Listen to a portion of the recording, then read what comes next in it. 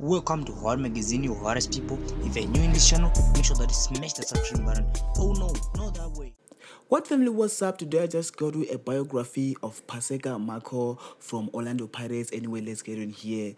Who is Paseka Mako? Paseka Mako is a South African footballer who plays a forward for Orlando Pirates Football Club.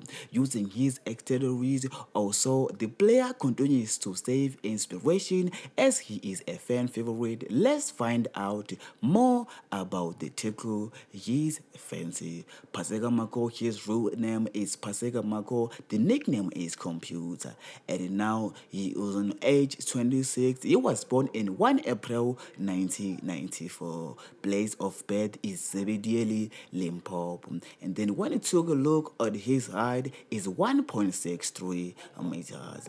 Position is a left back, and then when you take a look on his net worth, they are estimating a half a million dollars. Now we need to find out which club has Paseka Mako played for. Paseka Mako has played for Mamelodi Sundowns, Cape Town All Stars, Chippa United, and now he is on Orlando Pirates. What kind of cars does Paseka Mako drive? We're gonna find out about that. Celebrating his success, the 26 years old wipe up and red Mercedes A-Class, the German car maker of official website states that the starting price for Paseka Mako rides approximately half a million friends.